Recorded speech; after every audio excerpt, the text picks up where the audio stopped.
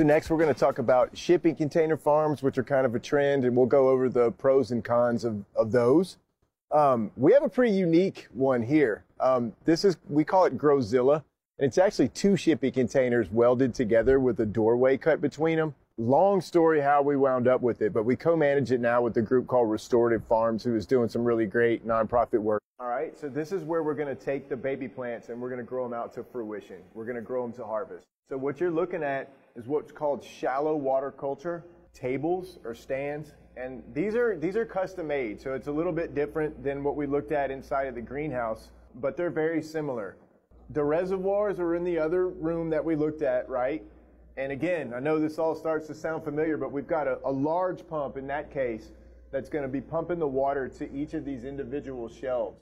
We've lit it up so you can see it's very bright.